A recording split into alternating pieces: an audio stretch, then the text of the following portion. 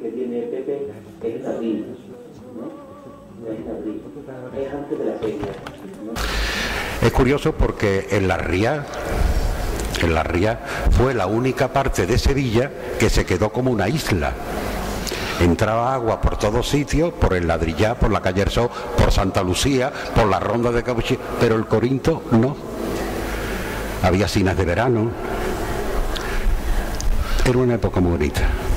Y allí viví y crecí. Y hablando de las bicicletas, yo la bicicleta la tuve tarde.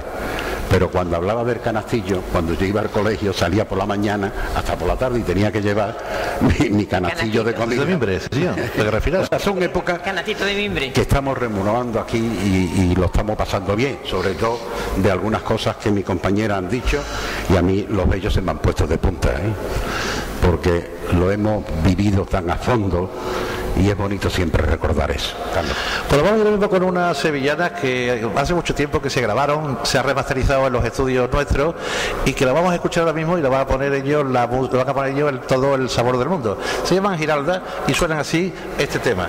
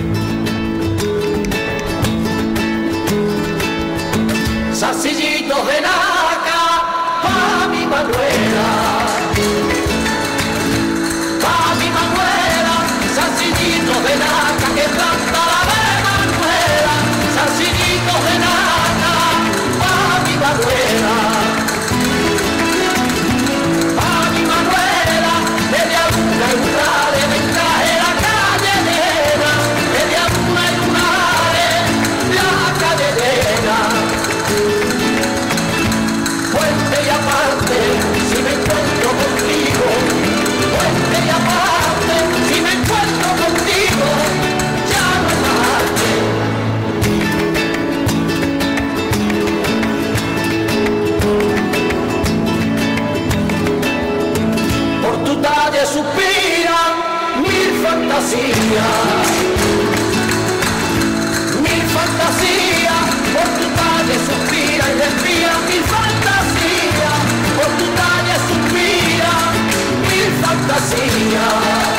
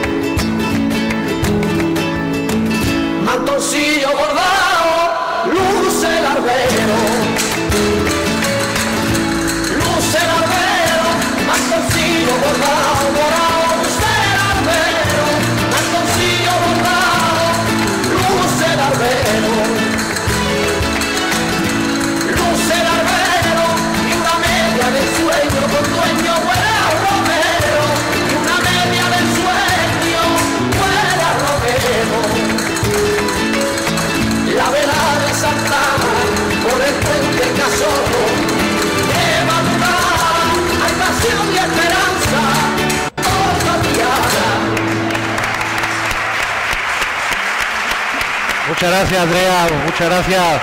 Muy bonito lo que han hecho, el nivel altísimo. Ellas no son niñas de academia, son niñas de ballet, del ballet que ballet nacional, o sea que prefiero que es un, eh, lo máximo que se puede pedir es una actuación, porque son profesionales, son gente que saben su oficio y además así lo reflejan.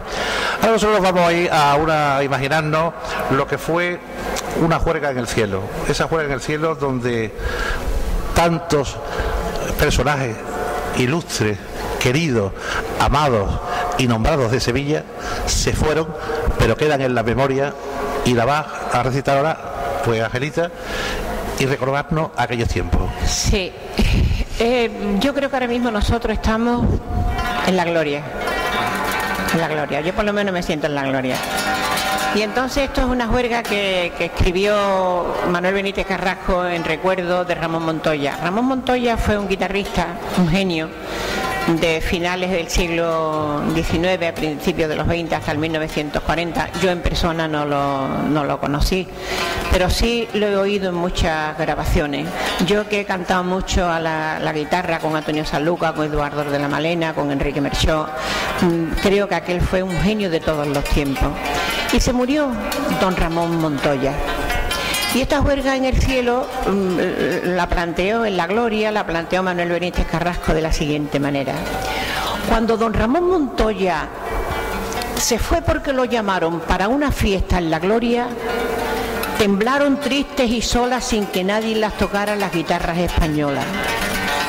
Por los tablaos derramaron lágrimas como lunares todas las batas de cola y muertecitas de pena se quedaron todos los cantes, todas las coplas, todas las penas.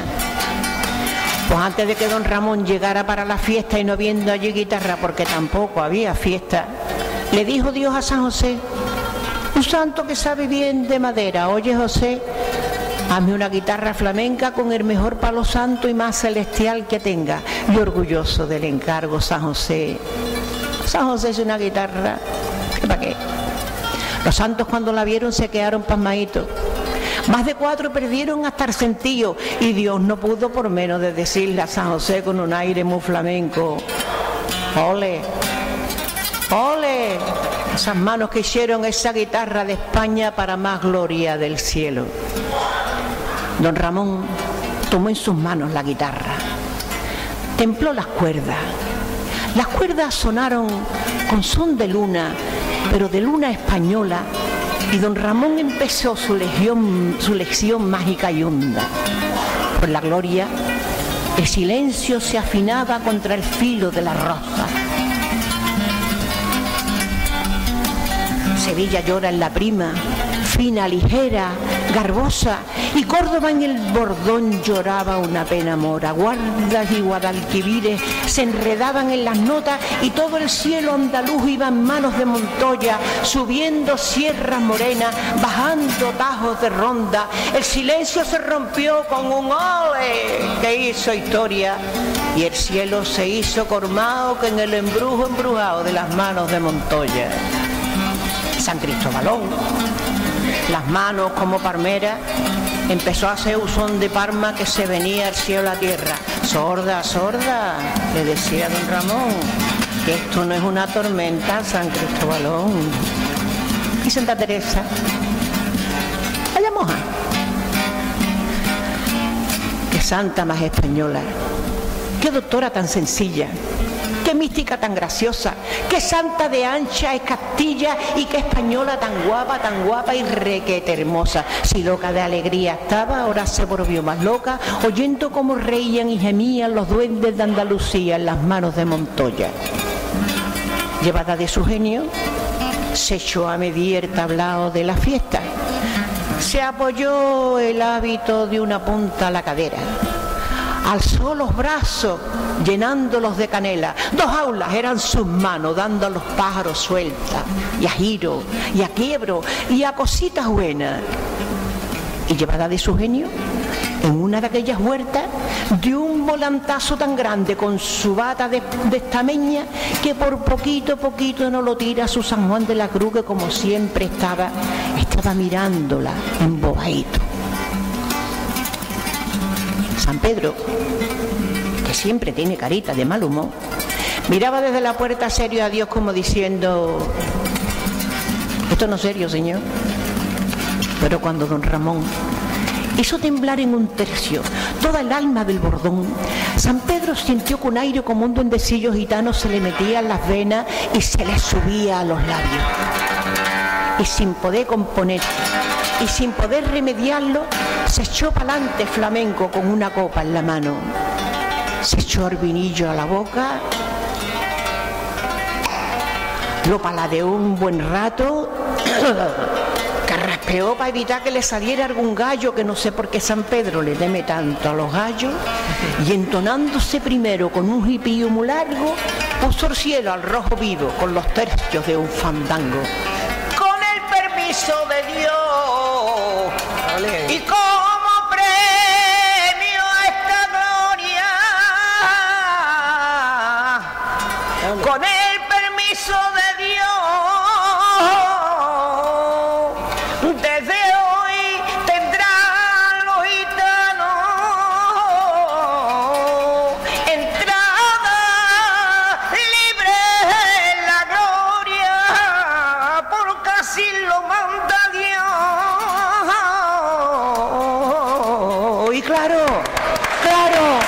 cuando los santos vieron que el santo más serio estaba en la mejor de su gloria, Cecilia de Jorpiano, San David tiró el arpa, el arpa y se pusieron a hacer un repiqueteo de palma. Y mientras que Postinero con su estrellita del brazo jaleaban los luceros, cantó y bailó como nunca entre requiebros y ole la merced por bulería y chacón por caracoles. Ebrias de gracia española, las santas masas chinadas se volvieron flamenconas. Y hasta la Virgen María, bonita como ella sola, con la luna por peineta y el sol por bata de cola, se bailó por alegrías en el tablao de la gloria.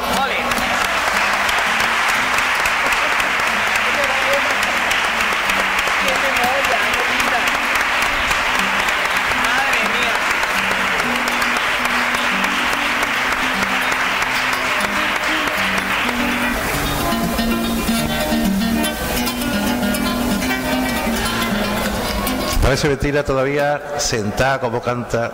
De todas maneras, hoy lo que tenemos aquí es un auténtico lujazo. Hemos puesto el listón lo más alto posible para que todos los actos sean de aquí para arriba. Es decir, que hay que buscar gente que sepan, que sepan decirlo, que sepan comentarlo, que tengan tradición y que son personajes de nuestra tierra. ¿Eh? Angelita es una persona que está va a Madrid y le pagan una fortuna por ir a Madrid a dar un pregón. No tanto, no tanto. que si no Hacienda... A- a- ahora, ahora como estamos con esto, ahora nadie quiere cobrar nada, oye. Pero sin embargo, eh, y aquí está mi mujer, que mi mujer me dice, bueno, ¿y tú por qué haces tantas cosas de barde? Se lo voy a explicar. Sevilla nos ha dado mucho. Nos ha dado bautismo, dado nuestros padres, dado un trabajo, nos ha dado una calle, nos ha dado una casa, nos ha dado unos hijos. Y esto hay que devolvérselo a Sevilla, señores. El que tenga uno algo es para devolvérselo de forma solidaria a los demás. Que así es como se entiende realmente lo que es la vejez, es dar de nuevo como dimos de jóvenes. Si no somos capaces de hacer eso y somos autistas, si somos engreídos, si somos orgullosos, si queremos ser siempre los un número uno, somos un equipo de gente que hacemos cosas por los demás, que somos gente solidaria y que lo que nos mueve es realmente estar un rato con vosotros. Gente que muchos no conocemos, pero que ya a partir de hoy seremos amigos. Nosotros vamos a poner casi a poner el punto final porque el- es, es tan agradable estar aquí que esto se va poniendo cada vez más largo, más largo y hay que terminarlo alguna vez. Vamos a llamar al coro para que el coro nos ponga ese punto y final porque aquí hay gente que tiene que irse. eh, Sí, sí, habla José Luis, sí, sí, José Luis. ¿Seguimos? Sí, sí, sí, sí, vamos a seguir mientras el coro. Vamos a seguir hablando. Sí, sí, sí, sí. Sigue, sigue, sigue. sigue. Sí, sí. Pero ya no se lee Sí, más, cuatro. no se lee más, Sí, Carlos. sí, sí, sí, ahora, ahora. ahora. Ah, vale, vale. Va a. No, Pues sí, no, pues. Vale, vale, vale. Bueno, vaya subiendo el coro, por favor, que suban la mitad y la otra mitad se queda abajo. Es el último tren que me ha dado hermana, tengo que cogerlo. Yo voy en coche, pero yo llevo mi coche con... Bueno, decir que mañana, si Dios quiere, Lo siento.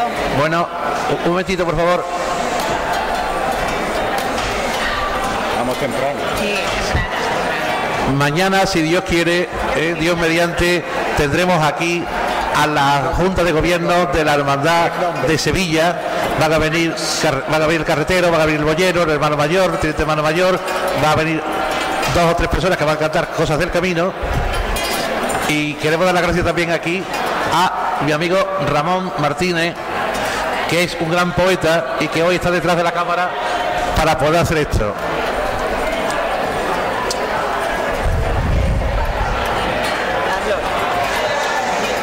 Un momentito, hombre. Un segundito, por favor. La silla, por Dios. Cuidado con la silla. Desde luego es que esto es igual que cuando Javier se para y se va y se va y se pone publicidad. Aquí no hay quien se escuche. Vamos a ver. Vamos a ver nuestro coro. Cuidado con la silla. Fuerte, ¿no? Muy fuerte, ¿verdad? A ver. A ver ahora. ¿Suena un poco mejor? Es que Muy te fuerte. sí. mucho. No, no, Es que no. te pegan mucho, Carlos. A mí se me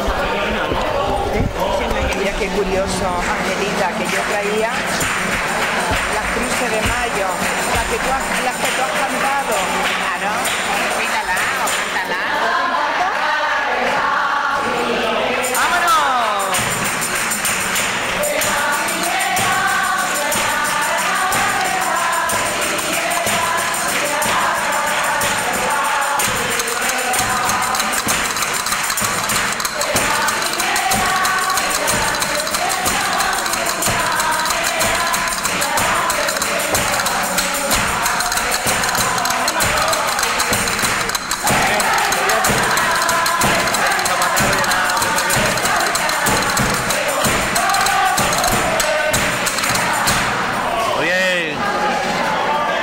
Venga, vámonos con el coro.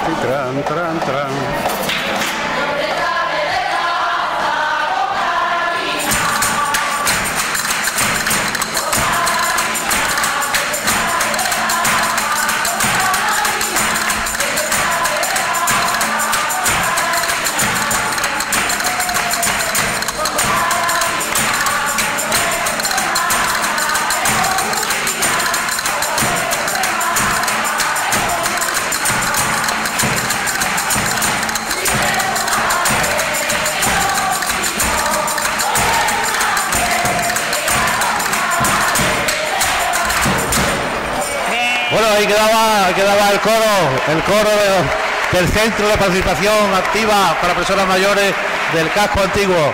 Muchas gracias, Pepe.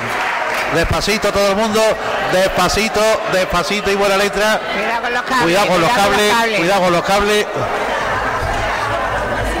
Ahora cuando bajéis todos. Bueno.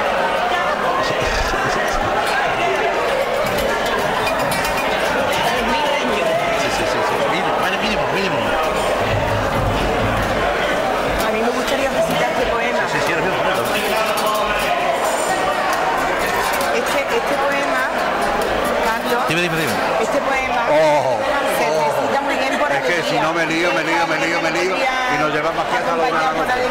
Yo no sé, yo sé. A ver, sí. A ver si Oiga, oiga. Luis le deja la guitarra. No, él- él no sé, ¿hay alguien que le pueda tocar de fondo para la poesía por alegría? Por alegría.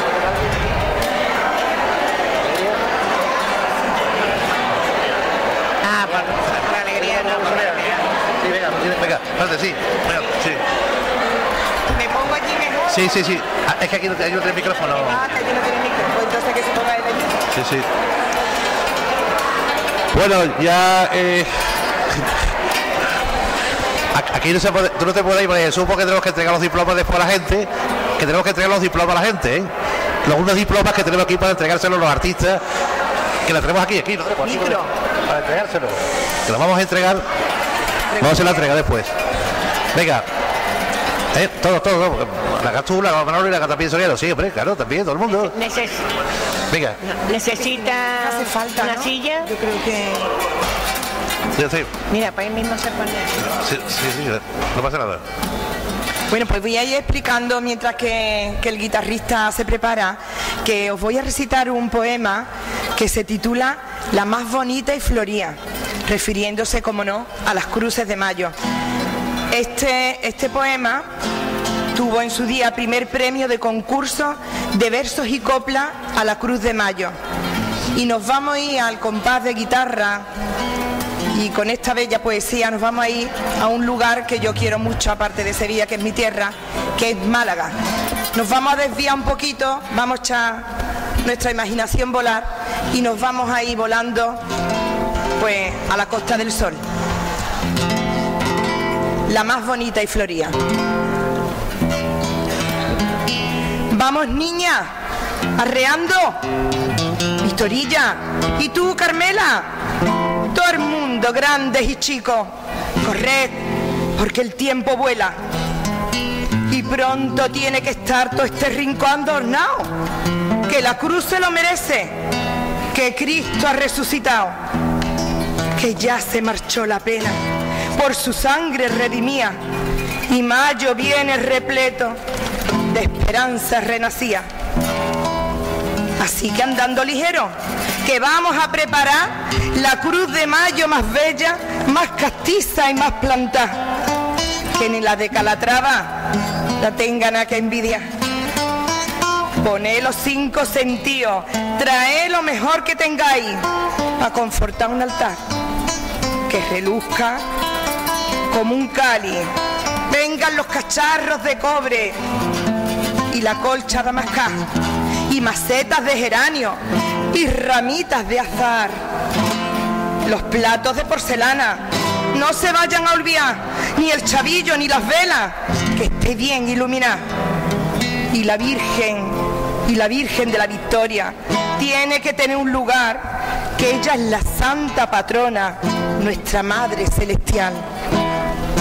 Y aunque el patio esté cuajado de enredaderas y lilas, colgá sobre este testero los mantones de Manila. ¡Qué belleza! ¡Qué colores! ¡Qué flecos y qué enreado! Mira qué gloria bendita, que no parecen bordados. Son iguales a un jardín de florecillas sembrado, donde anidan ruiseñores y ensayan vuelos mil pájaros. ¿No escucháis el aleteo? Seguro que no lo has notado, como un vientecillo fresco de claveles perfumados. Ay, y en medio de todo, la cruz más bonita y más floría que se ha visto en esta tierra de la Baja Andalucía. Y a sus pies, rindiendo honores, aromaitas de sal, hay conchas y caracolas, emblemas de mi ciudad, cogías en el rebalaje donde la besa la mar.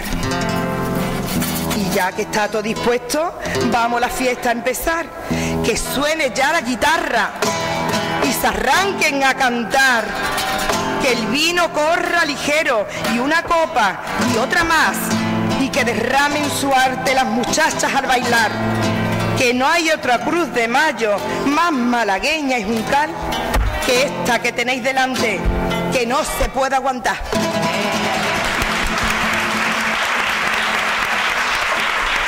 Gracias.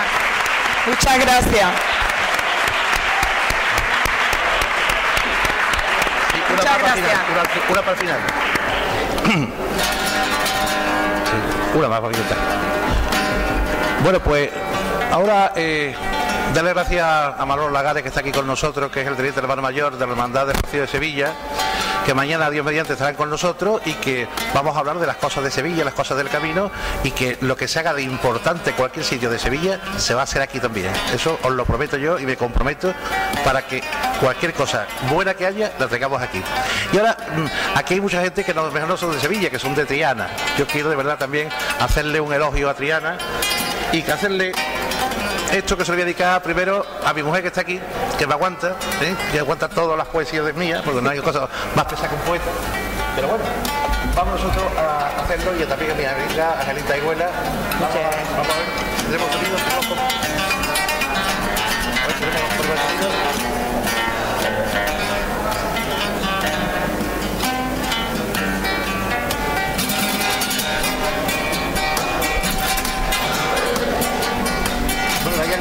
nos quiere. Tenemos problemas de.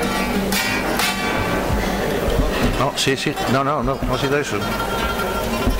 A ver. ¿Está la solución de aquí? ¿Has cerrado un máster o algo? Sí. A ver. buena. Sí, ahora. Bueno, pues vamos a poner nosotros un poquito de fondo de, de solead.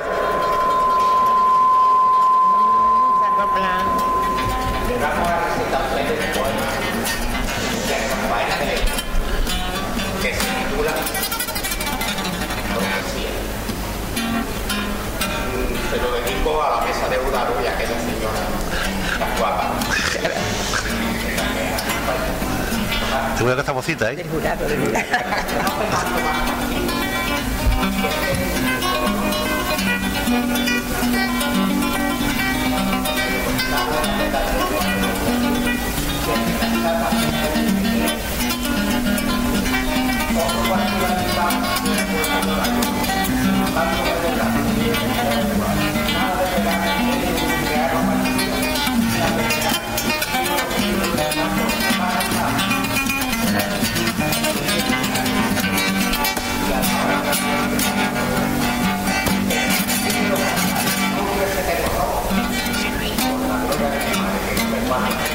Porque ser marido, ni tu novio, ni tu amante, yo soy quien más querido. Con eso tengo bastante.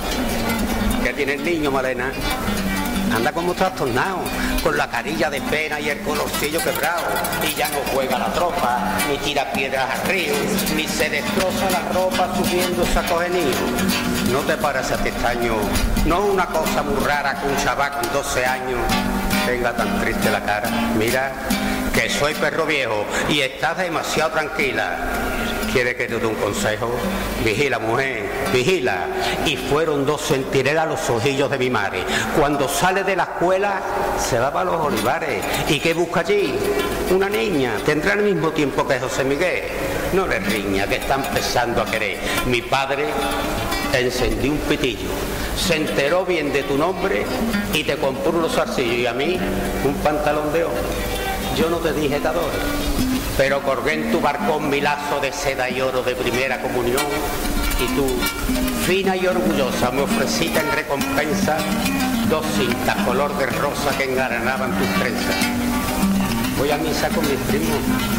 Bueno, te la ermita y qué serio nos pusimos hartando el agua bendita. Mas luego en el campanario cuando rompimos a hablar, dice mi tita Rosario que la cigüeña sagrada y el colorín y la fuente y las flores y el rocío y aquel torito valiente que está bebiendo en el río y el bronce de esta campana y el aroma de los montes y aquella raya lejana que le llaman horizonte. Todo es sagrado, tierra y cielo porque todo lo hizo Dios. ¿Qué te gusta más? Tu pelo, qué bonito te salió. cogí tus brazos y tus manos, y tus manos redonditas y tus pies, fingiendo el paso de las palomas zuritas, con la blancura de un copo de nieve te comparé y te vestí de piropo de la cabeza a los pies, a la vuelta. Te hice un ramo de pitiminí hermoso y después nos retratamos en el agüita del pozo. Y hablando de esas pamplinas que inventan los criaturas, llegamos hasta Cristina cogido de la cintura. Te pregunté, ¿qué piensas? Tú dijiste en darte un beso y a mí me dio una vergüenza que me caló hasta los huesos. De noche, muerto de luna, nos vimos por la ventana. Mi hermanillo está en la cuna, le estoy cantando la nana. Quítate de la esquina, chiquillo loco, que mi madre no quiere ni yo tampoco. Y mientras tú cantabas, yo inocente, me pensé que no nos pasaba como marido y mujer. Pamplina, figuraciones que se inventan los chavales después. La vía se impone, tanto tienes, tanto vale. Por eso, yo al enterarme que lleva un mes casado, no dije que iba a matarme, sino que me daba igual. Mas como es rico tu dueño, te vendo esta profecía. Todas las noches entre sueños soñarás que me quería. Te acordarás de la tarde que tu boca me besó y te llamarás cobarde como te lo llamo yo. Y verás, sueña que sueña que me morí siendo chico y se llevó una cigüeña mi corazón en el pico. Te despertarás diciendo, pero si no es cierto nada, si tú es que lo estoy soñando y allá por la madrugada te despertarás llorando por el que no es tu marido, ni tu novio, ni tu amante, sino el que más te ha querido. Con eso tengo bastante.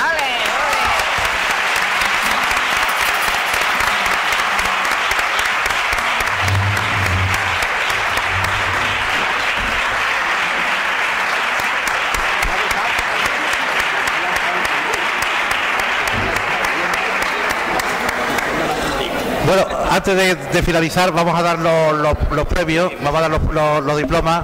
María Jesús, eh, Manolo, vamos a dar los, diplomas para, para acá, para hacérselo entrega. Venga, María Jesús y Manolo. Estos son los diplomas para, la gente que ha participado, ¿no? No, dice Antonio, ¿cómo eres tú? Antonio, Antonio, venga, dale otros dos.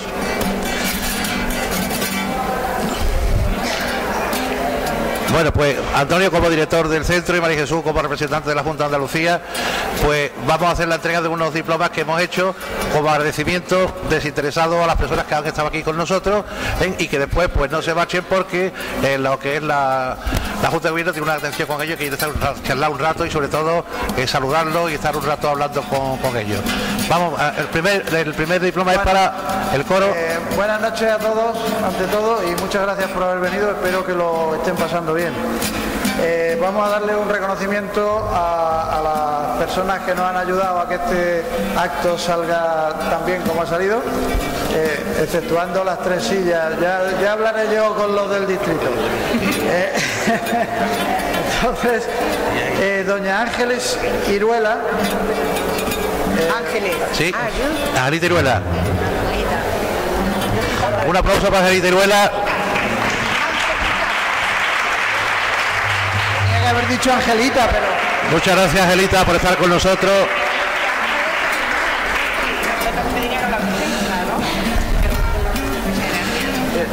Seguimos, Antonio.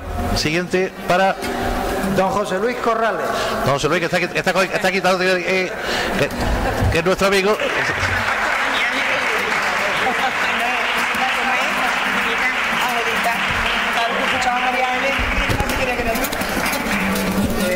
Doña Andrea Prieto.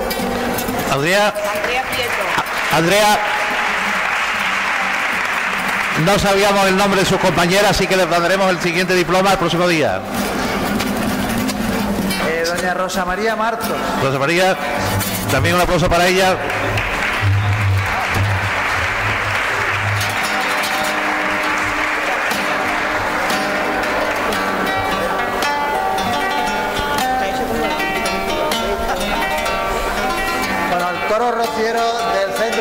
Activa. Pepe, El director del coro del centro.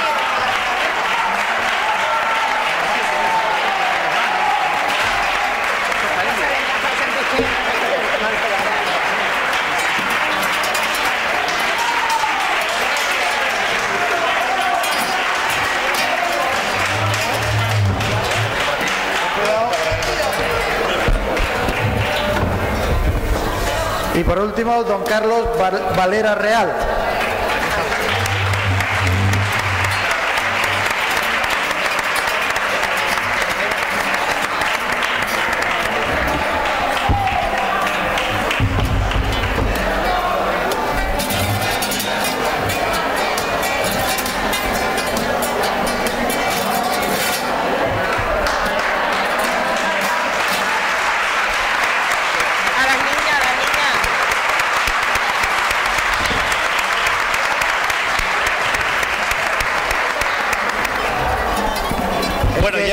Punto final, No, es que esta última chica no le hemos dado porque no sabíamos que iba a venir. Pero vamos, se lo tendrá en los próximos días. No se Un aplauso, venga.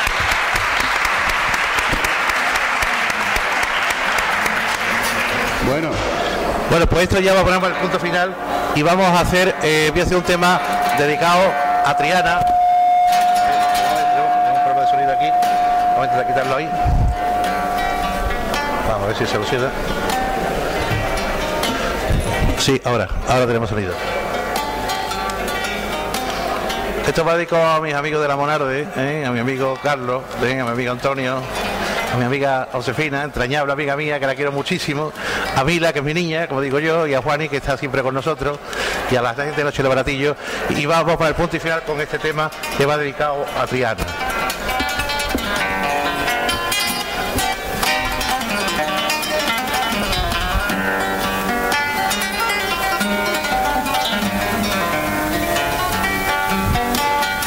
Cestero de los Corrales.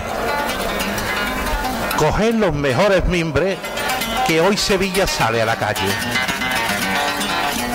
La mañana se despierta entre sueños de poeta y queda muda la manigueta en un umbral de los portales. El aire en la esquina da la vuelta, mientras sueñas la veleta entre olores y jazmines, que viene por placentines con las manos y dan las puertas. Cestero de los corrales, coged los mejores mimbres que hoy Sevilla sale a la calle. Y los cesteros de Triana, del Zurrac y la Soleá, llevan su estrella valiente por un río a navegar. Hay cesteros de Triana, hacen una cumbra de mimbre con el barro más cabal, que ya está cruzando el puente mientras canta la corriente, que la almiranta va a llegar. Cesteros de los corrales, coged los mejores mimbres, que hoy Triana sale a la calle. Por el puerto de pureza, altozano en pedestal, tú buscas la sombra del árbol para ver tu moreno pasar. Cestero de los corrales, coger los mejores mimbres que hoy Sevilla sale a la calle y tejiendo una cuna con el sueño de los estambres, que se vuelve a cumplir la profecía en los arrabales del parque. Una blanca novia viene llevando la paz en su talle y un revuelo de golondrinas revolotean en sus varales. La mañana se hace sol mientras sueñan los duendes con alporgatas de promesa y sudores de costales. Hay cesteros de Triana, alfareros sin igual, que está llegando la mañana y viene la capitana mientras otra en Resolana está a punto de zarpar. Cesteros de los corrales, coger los mejores mimbres, que hoy Sevilla sale a la calle. Dale paso, costalero, que el sol a las 12 está y ya se adivina el sendero, cada una su rosal por los jardines del cielo. Por eso te digo, cestero, que aún me queda en mi memoria los tejares trianeros con esos trocitos de gloria y el agua de tus vereros. Hay cesteros de Triana, te una cuna de mimbre, conjunto de sal y estero, que soy tu costalero y voy a Sevilla a llevarte por los jardines del sueño. Dame pronto, cestero, esa cuna de mimbre moreno para esta última chicotá. Costeros de Triana, cogen los mejores mimbres que hoy Triana sale a la calle. Señoras, señores, buenas noches y mañana te damos aquí citado a lo que es el un momentito para despedirse los- todos los artistas. Mañana el Rocío y las cosas de Sevilla. José Luis, Bueno, simplemente voy a aligerar porque da la casualidad que cada vez que hablo se cae alguien de la silla. Voy a intentar. Bueno, muchísimas gracias. Muchísimas gracias. Me tenéis para que venga cuando lo necesitéis. Lo he pasado muy bien. Sobre todo veros las caras complacientes. Muchas gracias y hasta siempre.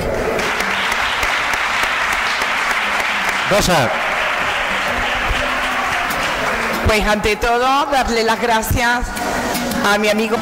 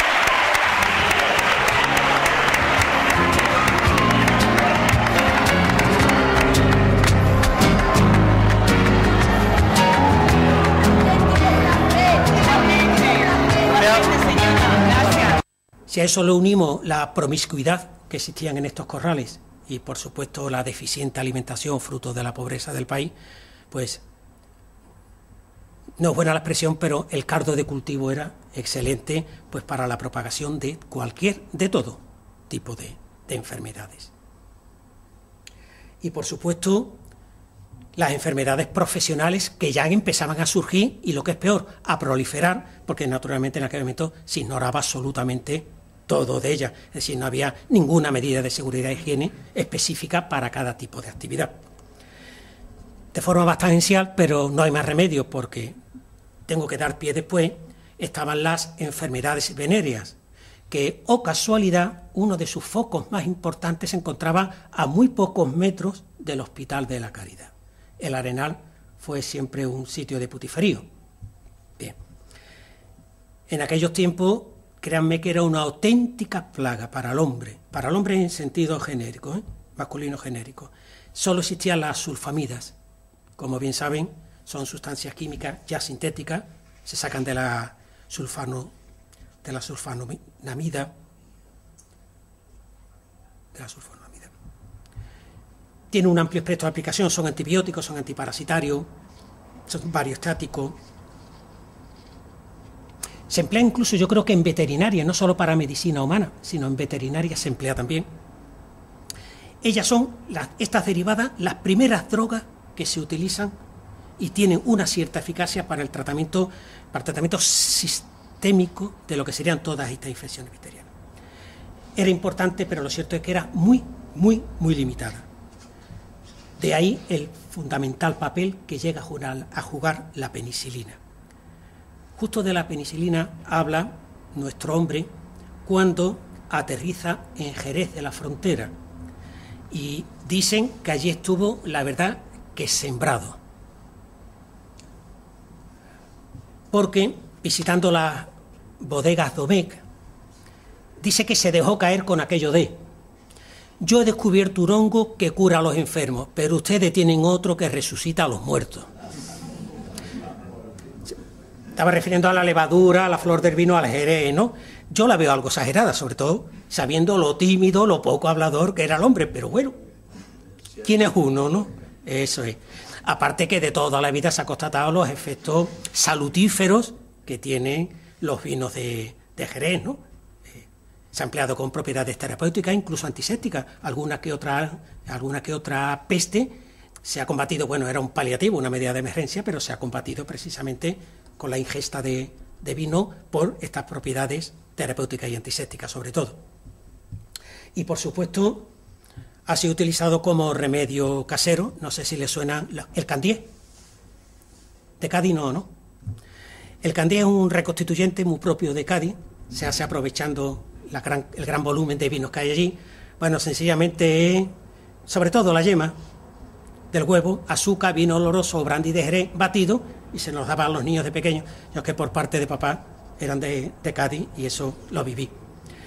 Dice que estando también en las bodegas de, de, en las bodegas Domé, llegó a decir, la penicilina será lo que cura al hombre, pero lo que lo hará feliz es el vino a mí me sorprende, y además es que es un hombre que llevaba pajarita puesta, o sea que estas cosas chocan. Él naturalmente deja su firma, como no puede ser menos, lo hace en la bodega Molino. el Molino es uno de los cinco edificios que componen, ya lo saben. Por supuesto, ahí firmaron mucha gente, hay artistas, científicos, deportistas, reyes, ya lo saben. Volviendo a Sevilla, nuestra ciudad le dedicó un monumento. Fruto de iniciativa popular, es cierto que tuvo una gran difusión mediática, detrás de ella estaba Celestino Fernández Ortiz, por aquel tiempo era concejal, pero también dirigía el rotativo Sevilla.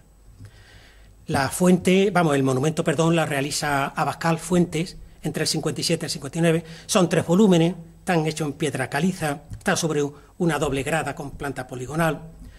En la parte frontal, como pueden ver, tiene dos pilastras, en medio está el busto, el busto es de bronce, ya saben, una aleación. Es un retrato realista, como se puede ver. Hay dos inscripciones. En la derecha se la dedica Sevilla a Fleming y dice la ciudad de Sevilla, en memoria al insigne investigador Sir Alexander Fleming, descubridor de la penicilina. La de la izquierda describe de quién fue la iniciativa. Este monumento se erigió por iniciativa del diario Sevilla mediante suscripción popular con aprobación del excelentísimo ayuntamiento. Por detrás, como ve, tiene una taza con forma avenerada, con forma de concha. Ahí cae agua de un surtidor, tiene puestas dos alegorías, ciencia y vida. Se inaugura en el 58, el 17 de julio, y como seguro ustedes saben, es un monumento, vamos a llamarlo itinerante. No es, no es el único en Sevilla que, que itinera. Así que eso mejor no, no me neallo. Se puso en el hospital de las Cinco Llagas, eh, después de ahí se quitó porque se empezaron a hacer obras por lo del Parlamento. ¿Y qué es lo que ocurrió? Pues que esto hay que desmantelarlo, no se vaya a estropear. Bien. Todo se guarda en un almacén, digámoslo así, el almacén, menos el busto que pasa a uno de los salones del ayuntamiento. Bueno, pues hasta aquí la cosa está normal. Pero claro, el asunto es que los jardines se remodelaron, que el tiempo pasó, pero que del monumento macho que nadie se acordaba. Y para la prensa es como si no hubiera existido nunca. Yo creo que incluso es probable que muchos de los redactores de la época supieran siquiera que había existido un monumento. Y es más que probable que de saber que existía era que a quién estaba destinado. Cosa nada rara porque estamos en Sevilla, don Nicolás, la ciudad, la ciudad donde habita el olvido. Pero bueno, tras muchas batallas periodísticas, se deshace el entuerto monumental, se encuentra al desaparecido en combate que tuvo también su aquel, y el problema pasa a ser otro, y es que ¿dónde lo vamos a ubicar ahora? Yo creo que o no se tenía claro dónde, o incluso lo que es peor, si se quería realmente hacerlo. Y estábamos hablando del descubridor de la penicilina. O sea, uno de los acontecimientos más revolucionarios de la historia de la medicina. El primer gran antibiótico y Fleming, el paradigma de benefactor de la humanidad. Bueno, pues parece ser que en aquella época, aparte de la ciudad de Sevilla, le importaba un bledo.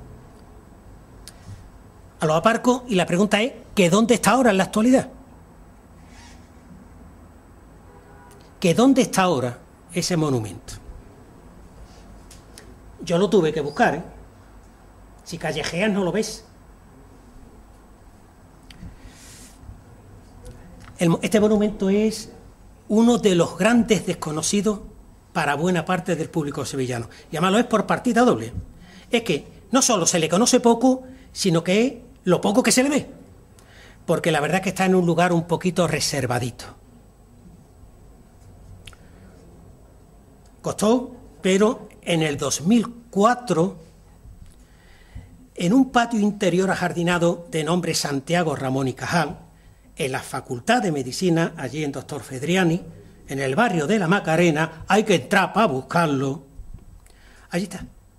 Así que ya ven, un Nobel escocés tiene su monumento en un patio ajardinado que tiene el nombre de otro Nobel, solo que este español.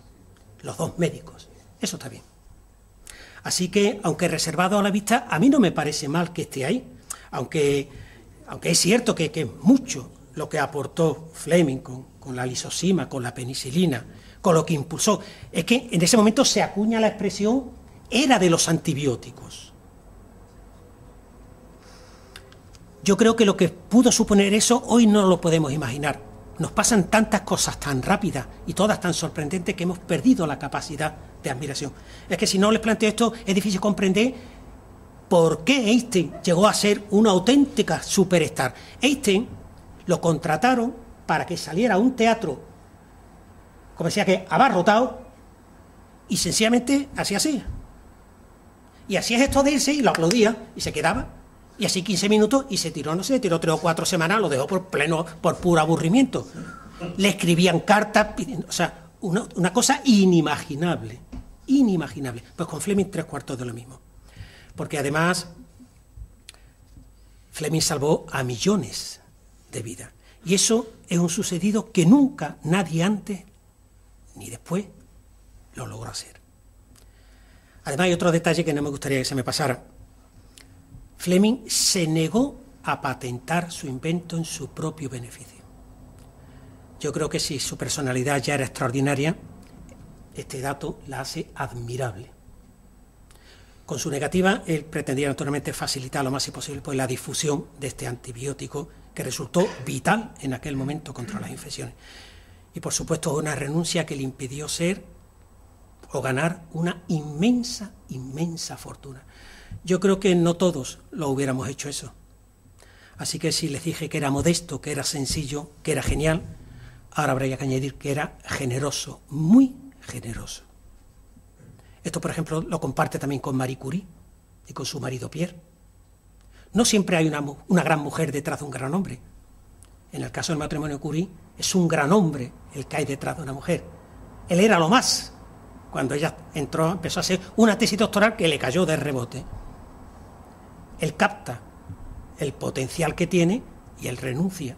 Trabajaba con piezoelectricidad, que es con lo que está trabajando ahora lo del grafeno, todo lo que es táctil, eso está basado en la piezoelectricidad. O sea que eso nos viene de Pierre Curie, que lo deja porque la cosa de la reactividad promete, ¿no? Como dicen ahora. Generosa se mostró también en Sevilla cuando a mediados de los 60 del siglo pasado eh, da su nombre a uno de los ambulatorios que empiezan a proliferar. Está en el barrio de Nervión, está en la calle Juan Padilla, yo vi construir ese edificio, pasaba todos los días por ahí, de hecho durante años fue el, ambulatorio de mi, de mi, familia y por supuesto lleva el, nombre de este doctor. Es quizás el último reconocimiento público que le hace la ciudad y, además se lo hace posterior a su muerte. Eh, Fleming muere el 11 de marzo de 1955. Lo hace cinco semanas antes que muriera Albert Einstein.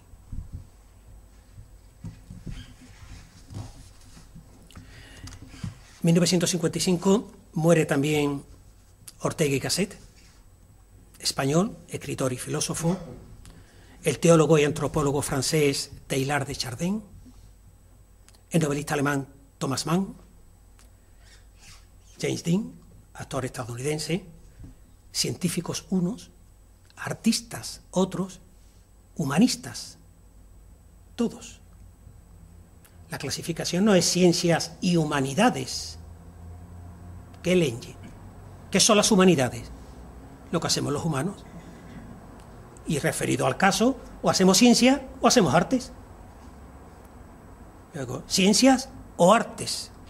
Me gustaba más la de antes, ciencia. que de ciencia o de letras? Venga. Pero humanos todos y humanistas nuestras actividades. les decía que fue un año aciago para la humanidad, para las humanidades. Él es Thomas Mann, Albert Einstein, él es Chardin.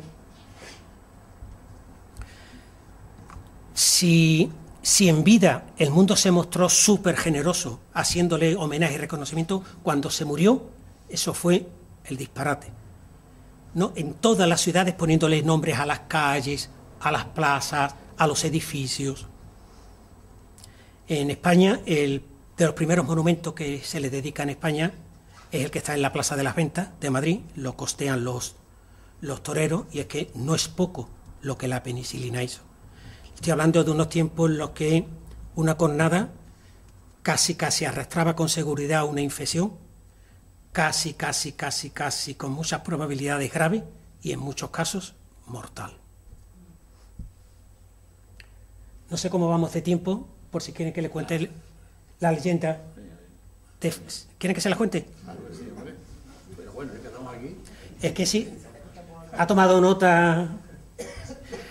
Yo no sé si es probable que hayan oído, que la hayan leído.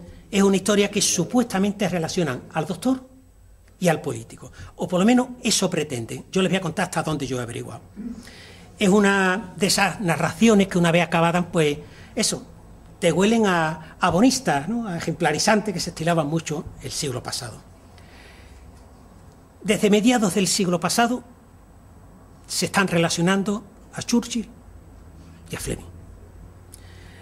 Hay distintas versiones, pero la más extendida es la que yo le traigo. Esa reza de que cuando Alexander tenía solo siete años y cerca de su casa vivía en una granja, dicen que murió de, salvó a un joven que se estaba ahogando era Winston en un pantano que había allí cerca. Bueno, pues aquello pasó y al día siguiente de este sucedido dicen que un elegante carruaje se paró en la puerta de los Fleming. Era el padre del niño salvado. Naturalmente quería mostrar su agradecimiento y le ofreció una recompensa. Dicen que el padre de Ali se negó, pero llegaron a un acuerdo. El señor Churchill, padre, se haría cargo de los estudios de ese valeroso jovencito.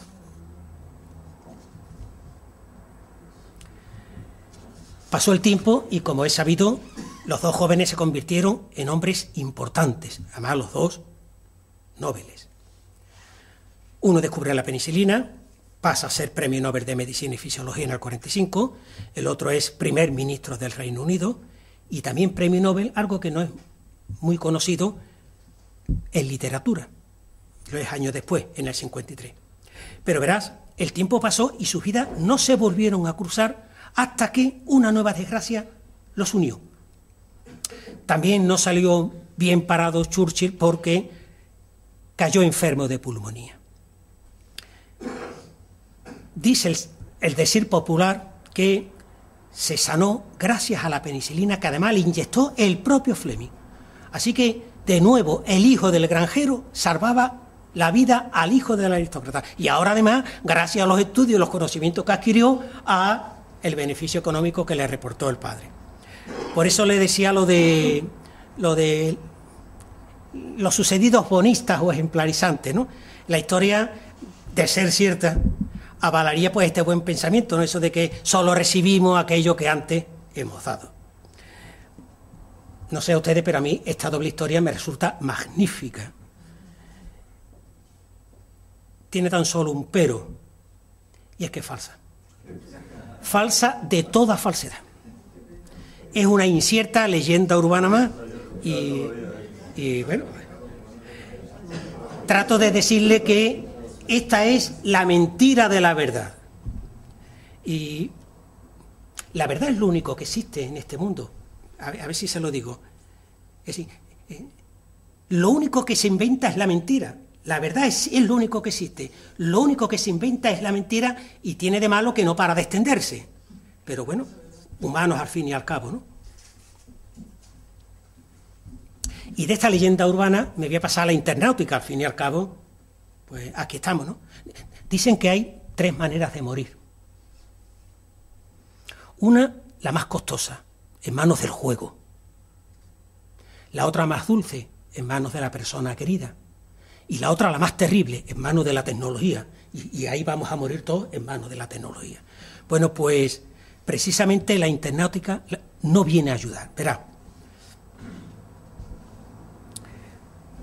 Lo que yo he podido encontrar parte de 1999. Ahí es la primera referencia que yo encuentro en Internet a esta historia.